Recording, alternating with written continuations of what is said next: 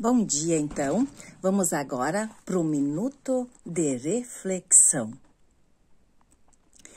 Pense positivamente.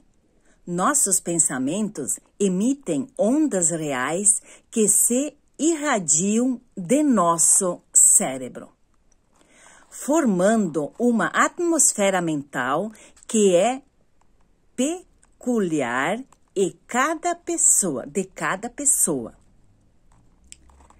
De acordo com o tipo de vibração do pensamento, atrairemos a nós todas as ondas semelhantes. Se você pensar negativamente, atrairá todos os pensamentos negativos, piorando o seu estado. Pense positivamente para atrair apenas pensamentos positivos de paz e prosperidade. Pense nisso.